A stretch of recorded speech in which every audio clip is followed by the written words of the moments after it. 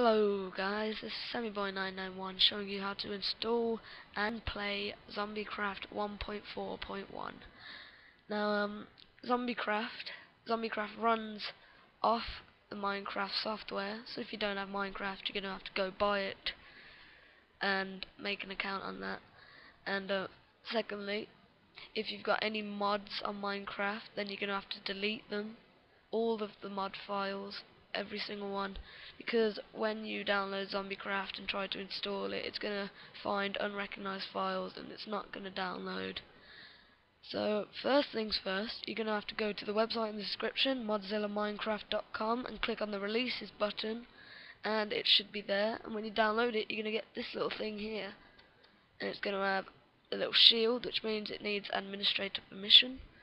Just gonna allow that and doesn't matter what it says up here it should go to the right place anyway. Click install.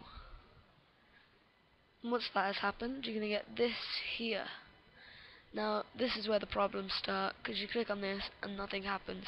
And I looked around the internet when this first happened to me and I found some absolutely terrible answers literally they were so long-winded, so stupid. I just thought there must be an easier way around.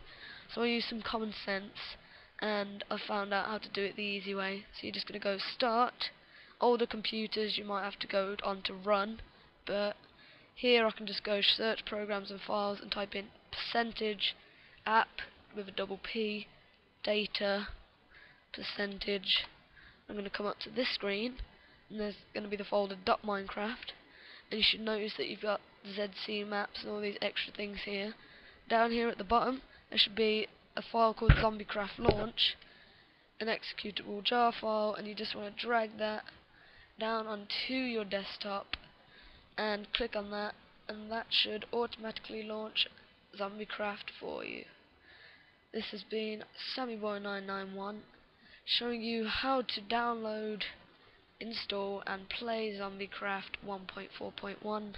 Thank you very much for watching, comment, rate and subscribe.